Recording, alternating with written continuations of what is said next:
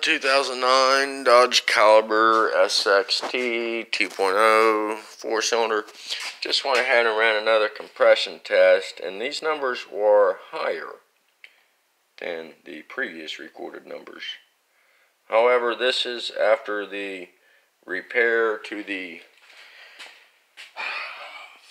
fucked up um, variable valve timing solenoid thingy.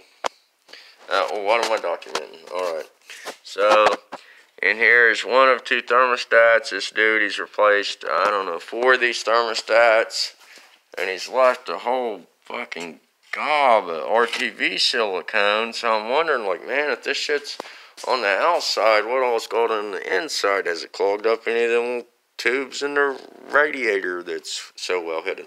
Anyway, the moral of my story is, hey, well, I can see the three shiny thing where the thermostat goes, but where's the actual thermostat? Did they remove the thermostat?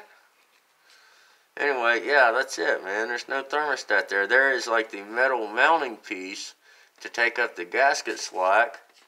And I see some more RTV shit all around there. But yeah, no actual thermostat. Um, once again, no actual thermostat in there.